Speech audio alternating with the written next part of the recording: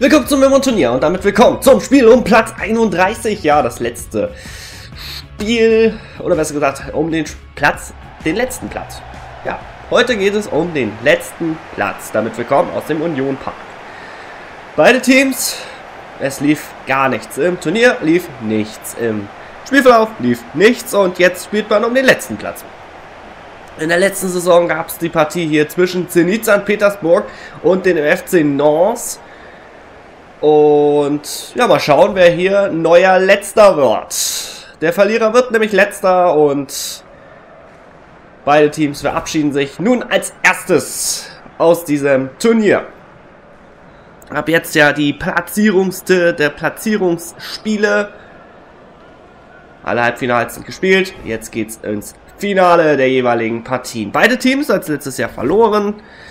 Lokomotive Moskau ja, hat das Spiel, es wurde das Spiel gedreht vom FC Genua. Lange Zeit haben sie geführt und am Abschluss ist es daneben gegangen. Bei Bilbao war es am Ende das Elfmeterschießen, was die Entscheidung gebracht hatte. Von daher schauen wir mal, wie das denn heute laufen wird. Aufstellung von beiden Teams. Keine großen Überraschungen. Und wir gucken, wer von beiden die Schmach abwenden kann. Einer von beiden wird letzter. Die Frage ist nur jetzt, wer? Beide letzte Saison nicht dabei gewesen. Nun, bloß nicht letzter werden. Schiedsrichter kommt heute aus Portugal. Und dann schauen wir mal. Wer hier heute die Nase vorn hat. Aus dem Union Park. Lokomotive Moskau in den grünen Trikots, grün-rot gegen Athletik Bilbao in den in den blau-weißen Trikots.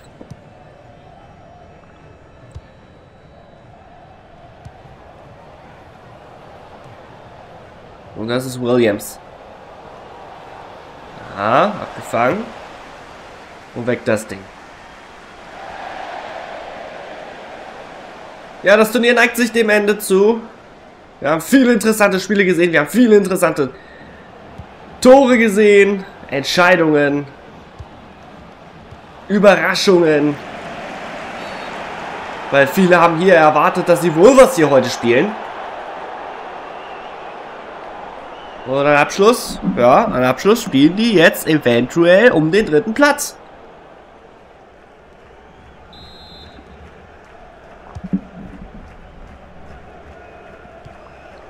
Ignatev. Und da ist er wieder.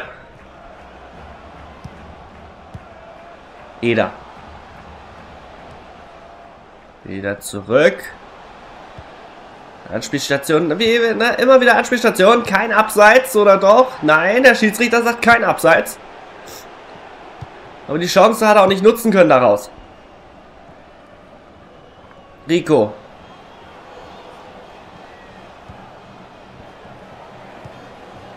Montaturis. Williams. Schöner Pass, Staffette und die Möglichkeit.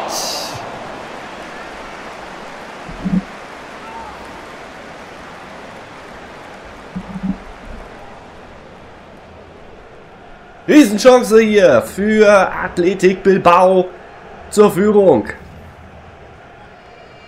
Ecke Bilbao.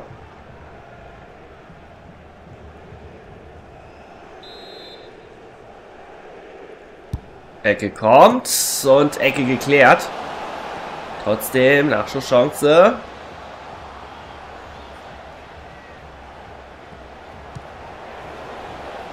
Und gehalten. Aus kürzester Distanz. Guhelme.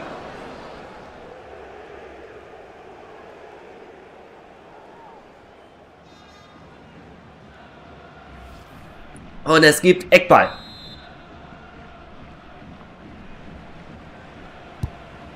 Ecke kommt, Ecke nicht ganz. Nicht ganz, nicht ganz.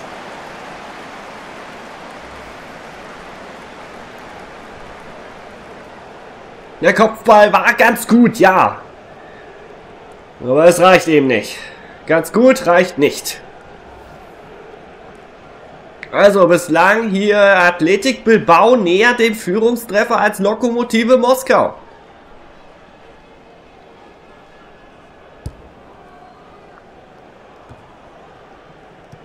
Tarasov. Und Fernandes kriegt den Ball sogar. Fernandes. Ja, Zweikampf, Zweikampf aber verloren.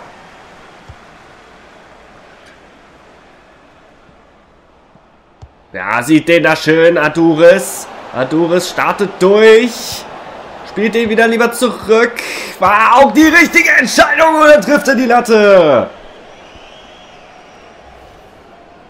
Riesenmöglichkeit. Zum 1 zu 0. Von Bilbao.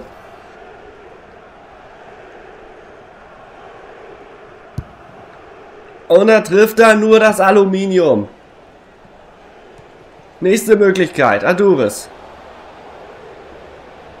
Schöner Pass auf Garcia. Eben auch mit der Lattentrefferchance. Und jetzt leider in die Hände des Torwarts aus Sicht. Der Spieler von Bilbao. Foul, Freistoß.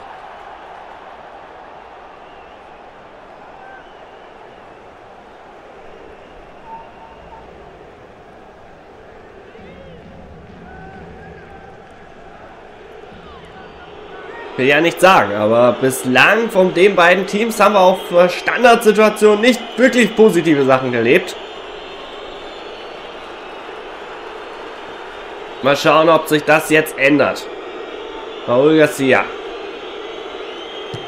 Und ja. Leichter hätte es den Torwart kaum machen können.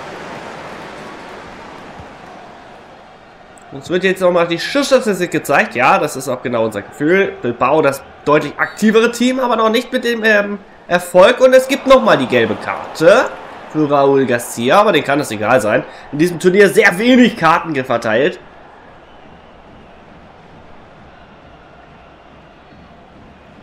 Also von daher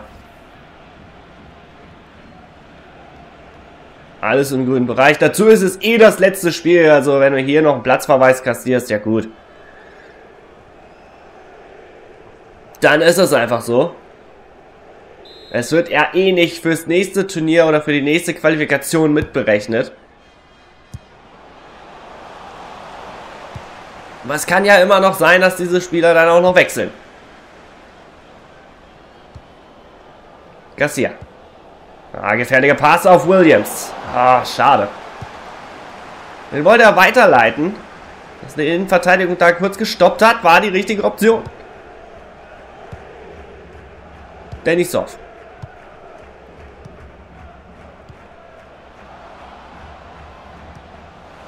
Sie kommen einfach nicht durch das Mittelfeld durch. Sie kommen da einfach nicht durch. Aduris. Aduris, immer noch Aduris. Der setzt sich hier gegen alle durch, aber nicht gegen den Torwart. Der hier für mich momentan Man of the Match ist. Der hält hier alles, was irgendwie zu halten ist. Okay, die Situationen waren bislang auch nicht allzu schwer. Bis auf die ein oder andere Szene. Trotzdem, bislang hält er den Kasten sauber. Auf der anderen Seite, der Keeper hat fast nichts zu tun. Nächste Möglichkeit. Und es gibt Abstoß. Und es gibt Abstoß. Überraschung, Überraschung. Hätte ich jetzt nicht für möglich gehalten. Dass er den jetzt mit Abstoß berechnet. Weil eigentlich hatte ich gedacht, dass er, dass er jetzt hier äh, den noch berührt hat, aber der Schiedsrichter sagt Abstoß.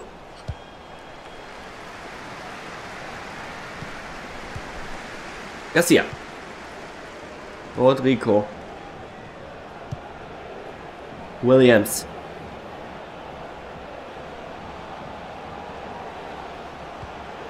Adoris. Ja, spielt ihn wieder zurück. Das macht er heute ziemlich oft. Garcia. Hm. Vier Minuten Nachspielzeit wird dann gezeigt. Aus meiner Sicht ein bisschen viel.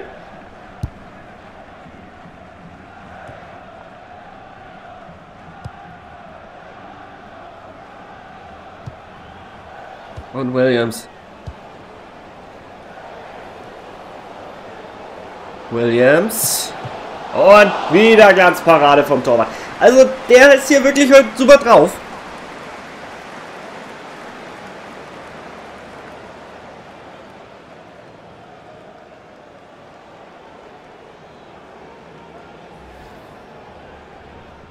Und es gibt Eckball.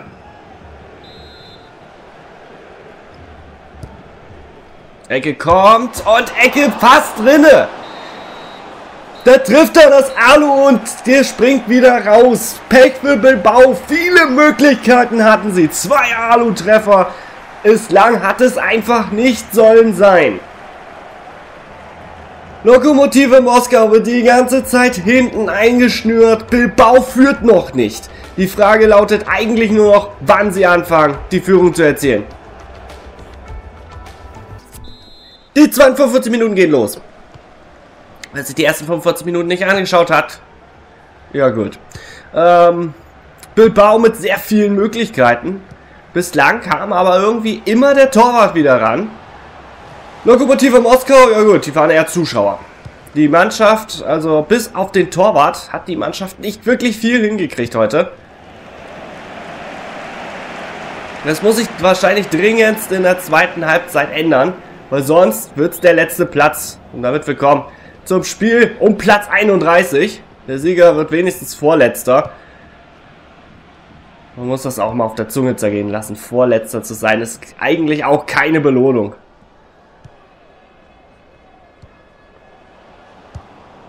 Aber wie schon in der ersten Halbzeit am Anfang sind sie wieder hier aktiv dabei. Und kugeln sich hinten nicht ein. Terasov. Und Eda. Eda! Wechsel! Natürlich jetzt die ersten Buhrufe. Ari kommt rein für Eda. Wie gesagt, heute nicht wirklich auf dem Feld gewesen. Rico raus. Bennert rein. Und es gibt Eckball. Es gibt die erste große Chance für Lokomotive Moskau. Ecke Fernandes. Kopfball. Ja. Dann darf sich der Torwart endlich mal beweisen. Jupp, er ist auch auf dem Feld. 57. Minute.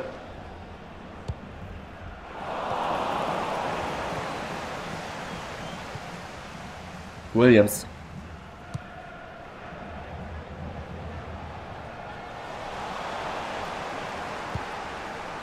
Ja, raus damit. Einwurf Bilbao. Garcia. Und Bernat. Flanke kam nicht an. Konterchance Lokomotive. Und das ist ein herbes Foul. Und der Schiedsrichter gibt keine Karte dafür. Das ist eigentlich völlig unvertretbar.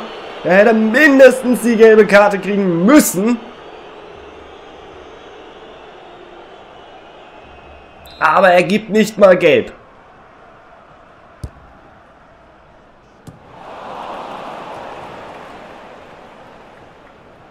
Garcia. Und da Doris. Schöner Pass. Nächste Chance hier Bilbao. Die machen ja, die haben ja viele Chancen. Die haben bloß nur nicht das Tor erzielt. Das ist eben das Problem. Und das ist eben beim Fußball auch wichtig, dass du Tore erzielst. Und jetzt gehen sie natürlich in die Knochen, klar. Die sind ein wenig frustriert über ihre eigene Leistung. Lokomotive Moskau, die igeln sich wieder hinten ein. Williams und die Chance Garcia. In der Treffsicherheit, genau deswegen ist man wahrscheinlich auch heute hier. Wahrscheinlich genau deswegen.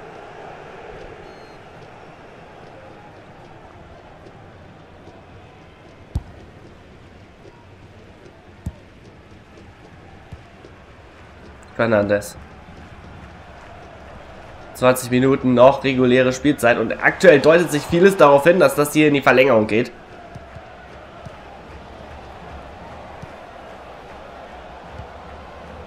Garcia.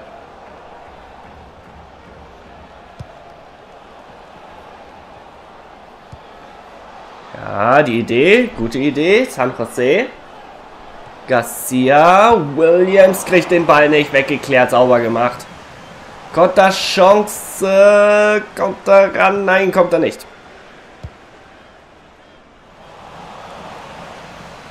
Fernandes. Ja, das ist Frust. Das ist Frust. Mehr ist es nicht. Und der Schiedsrichter gibt auch dafür nicht die Karte. Also ganz ehrlich, ich weiß nicht, ich weiß nicht. Wofür willst du dann bitte gelb geben? Oder sogar noch, oder sogar rot. Was will, wo, für welche Fouls willst du Karten geben? Wenn du für sowas keine gibst.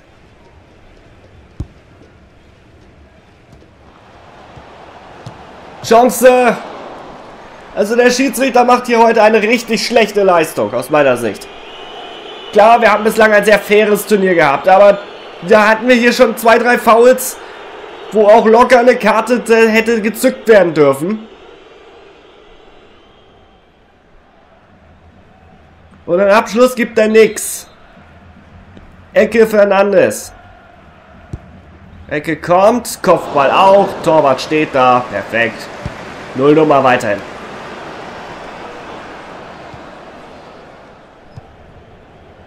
Williams. Und da Doris. Ah, gefährlich. Williams rübergespielt, ja. Und dann der perfekte Manndecker da, ne? Der den Ball abwehren kann. Und somit die Situation entschärft. San Jose. So, und dafür allen Ernstes gibt er Gelb. Also völlig unvertretbar aus meiner Sicht, wenn er für die anderen Aktionen nicht gelb gibt und hier schon, dann stimmt irgendwas nicht. Gelb für Ari. Na, vielleicht hat er das auch gehört hier von der Kommentator, also vielleicht auch international von den anderen Kommentatoren, dass das hier absolut in die falsche Richtung geht. Aber sowas von absolut. Denisov. Und Tarasov. Ari. Gefährlicher Pass. Und das ist die Chance. Zwei Minuten vor Schluss. Vor den 90 Minuten. Also Lokomotiva Moskau in der zweiten Halbzeit das deutlich aktivere Team gegenüber der ersten Halbzeit. Da haben sie ja fast gar nichts gemacht. Da haben sie sich wirklich hinten eingeigelt. Die wollen das Ding jetzt hier genauso wie letztes Mal Sampdoria Genua entscheiden. Also kurz vor Ende. Flanke kommt. Kopfball geklärt.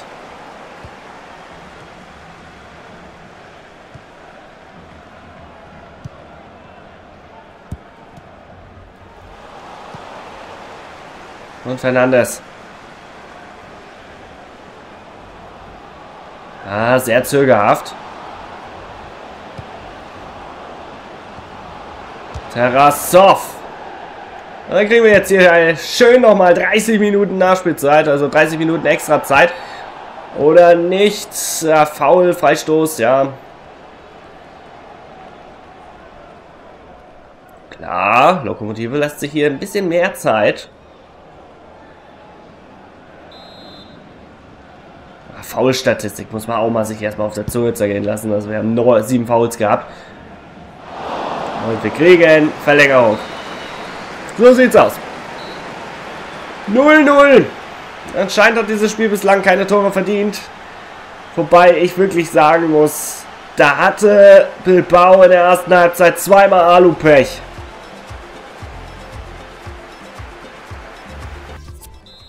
Willkommen zur Verlängerung der Partie zwischen Lokomotive Moskau und Athletik Bilbao.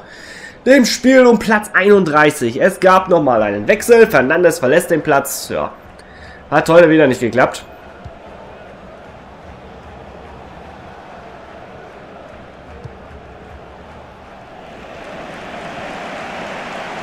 Doris. Abgewehrt.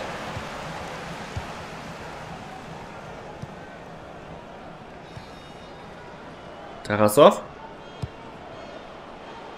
Und Lisov. Jetzt versuchen sie es mit langen Bällen. Karasev. Und Arin kommt nicht ran. Kontermöglichkeit. Direkt verpufft. Weil Duris da nicht wirklich rangeht. Und das ist eben dann auch manchmal das Problem. Karasev.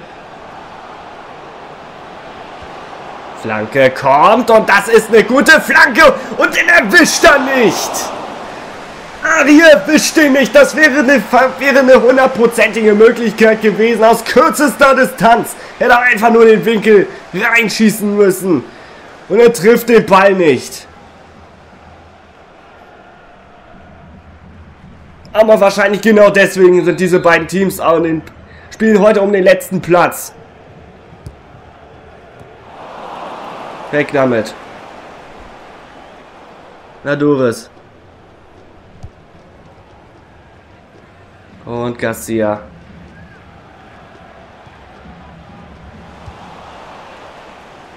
Ari. Ja, die Möglichkeit. Ja. Muss man was dazu sagen. Ich weiß nicht, also ich weiß nicht, wie viele Großchancen du haben möchtest. Aber so darfst du sicherlich deine Chancen nicht verarbeiten. Absolut nicht.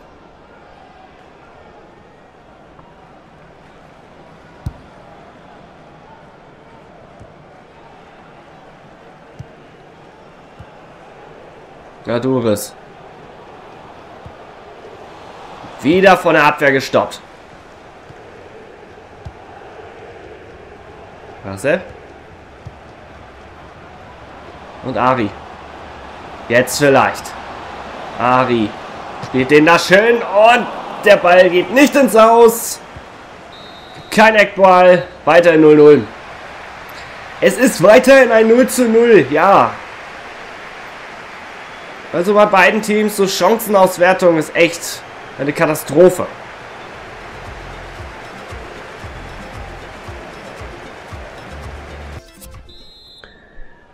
Vierte Halbzeit und damit willkommen.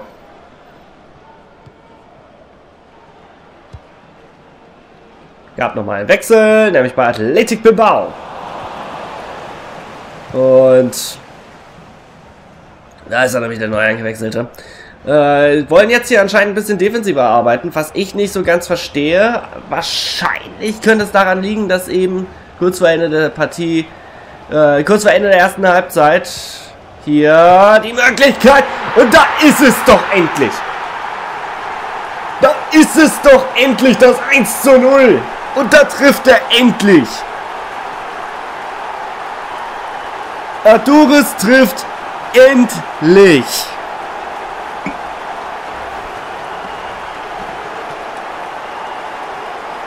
Nur welche Chancen haben sie sich heute ganz schön oft rausgespielt? Und jetzt endlich hat's geklappt. Den Keeper getunnelt. Unglücklich gelaufen.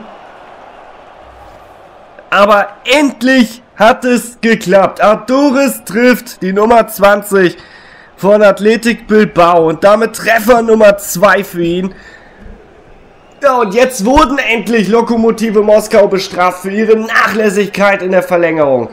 Die hatten hier Großchancen, das wollte ich nämlich eben gerade sagen. In der letzten Halbzeit hatten sie Großchancen gehabt, hier das Spiel auf ihre Seite kippen zu lassen.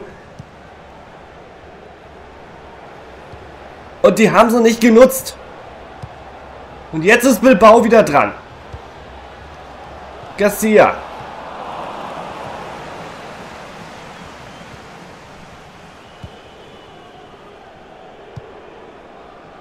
Und Terrasov. So, fünf Minuten bleiben noch. Lokomotive Moskau, um hier irgendwie das Tor zu erzählen, was ich ehrlich gesagt nicht vermute. So viel Unsicherheit, wie Lokomotive Moskau auch heute wieder ausgestrahlt hat, glaube ich nicht wirklich dran mehr.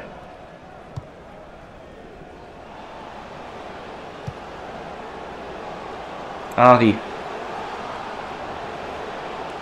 Ari, guter Pass und dann trifft er den Pfosten und dann trifft er die Latte. Das gibt es doch nicht. Das kannst du niemandem erzählen. Das ist doch nicht zu glauben. Wieder eine riesen Möglichkeit. Und aus kürzester Distanz trifft er die Latte. Anstatt den ganz tief zu passen und dann wäre das Ding der Ausgleich gewesen und wir hätten jetzt ein Elfmeterschießen gehabt. Ist nicht der Fall. Lokomotive Moskau wird letzter im Männerturnier. Und Athletik Bilbao knapp an der Schande vorbeigeschlittert.